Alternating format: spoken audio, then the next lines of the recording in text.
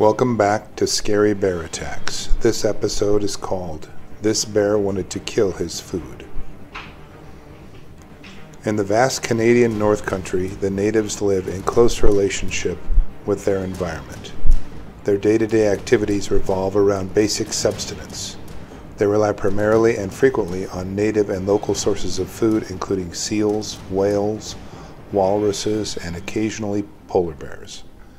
Tok was a member of the First Nations people in the northern Arctic regions of the Canadian North. He and his cousin Nat were planning their typical seal hunting trip, which consisted of a few days crossing ice floes and expansive Arctic icescapes in search of favorable places to catch and kill seals.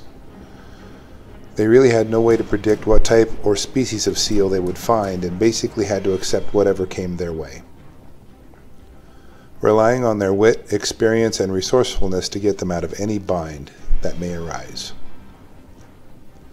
After rounding up their firearms and other needed equipment, Tok and Nat loaded up their snowmobiles for their trip. In recent decades, the indigenous people had given in to the easier and more comfortable amenities of modern life, while still clinging to their way of life and whatever cultural remnants they could. Indigenous people of the North of prior generations utilized sled dogs, atlatls, spears, and whale ivory hooks to catch and kill much of their food. But today's indigenous people frequently trade the old methods for modern ones, and unfortunately lose their own cultural uniqueness in the exchange. The loud engines wind up as the young men pull away from their village and they line out, single file, for the 47 mile trip to their favorite seal hunting ground. The spring snow was turning into slush during the daytime, but would freeze hard at night and allow the seal hunters to cross muddy or boggy areas easily on their snow machines. As the comfort of their village fades away, they are filled with a sense of adventure and freedom that only wilderness can bring. Living this close to the land does have its rewards and its perils. The young hunters traveled the 47 mile distance with within an hour or so and arrived at the edge of the land, and the expanse of the sea opened up.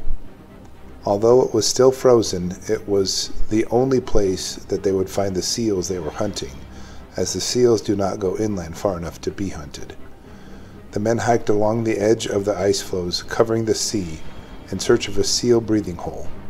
This is a hole in the ice that seals use to emerge from the icy waters to breathe or rest.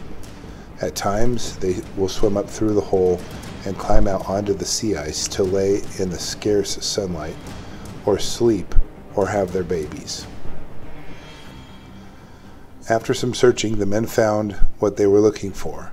There was a hole in the ice about 18 inches across that had obvious signs of being used by seals. The experienced subsistence hunters also knew that the seals would have these holes about every quarter mile or so apart so Nat planned to move on and find another breathing hole to hunt over. Before he departed, he would help Tok set up his hunting position. The two men positioned a snow blind next to the hole so that the seals would not see Tok as they emerged, and Nat began his trek to find a second breathing hole. Hunting seals in this manner required a tremendous amount of patience. The seals could choose a breathing hole at random, and waiting motionless for hours, hoping they would choose this particular breathing hole, was a calculated risk. In the old days, the indigenous people would use atlatls or spears to harvest the animal, but today the men were using small caliber rifles. As Tok gazed into the frigid sea water filling the breathing hole, his mind wandered to various other things he could be doing. He thought of his chores, and repairs on his house he needs to complete while waiting for the sea water in the breathing hole to stir, signaling an approaching seal. Hours passed, and the patient ice hunter barely moved from his initial position to avoid giving himself away.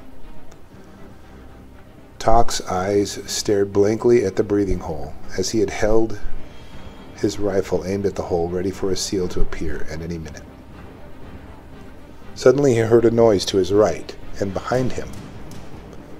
Slowly he turned his head, and he saw the immense shape of a giant male polar bear only four feet from him. The stealthy Arctic assassin had padded up on the hunter without being noticed, and now was dangerously close. Tok's mind started to race as adrenaline flooded his body. He knew he would not want to make any sudden movements or run away, as that would trigger the polar bear's predatory instincts, and he would be done in no time. Tok's knees began to shake uncontrollably, and he fought the instinct to run.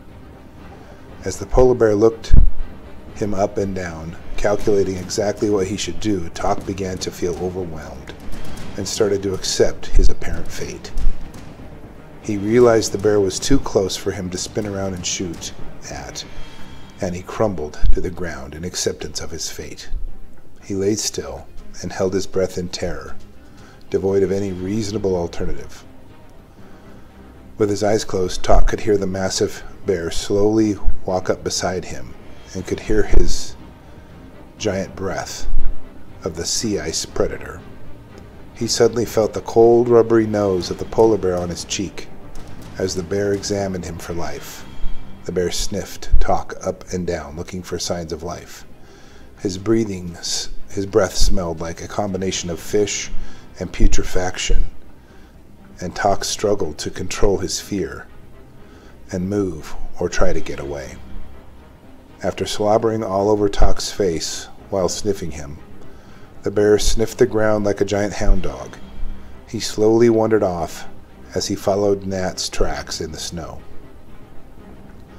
As soon as the bear was a few yards away, Tok opened his eyes and cautiously watched the bear disappear from sight. Tok sat up and had a hard time regaining his feet due to the adrenaline dump from the experience. He knew that he did not want to follow the bear and chose instead to run all the way back to his snowmobile. He covered the return trip in record time and roused the men of the village to return to find his friend. As the search party arrived at Tok's hunting site, they could see the bear's giant tracks in the snow as he followed Nat's. The men kept a wary eye out for the bear and followed, hoping to find him before he could cause any danger or damage.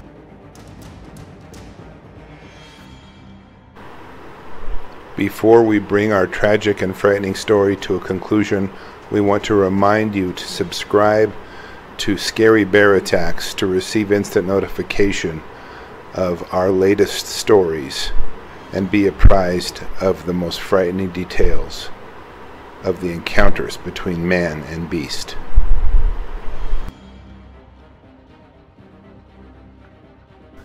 They rounded the last ice berm and finally stumbled upon the half eaten corpse of their friend and family member, Nat.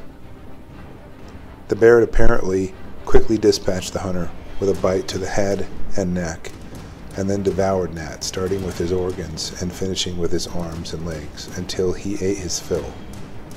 Blood, tissue, and other bodily fluids were scattered all over the area. The encounter was apparently not without risk for the bear, as the men could see a slight blood trail in the bear tracks as he left the kill site.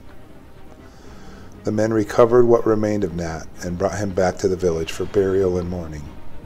Nanook as the indigenous people call him, had claimed another victim of the icy north.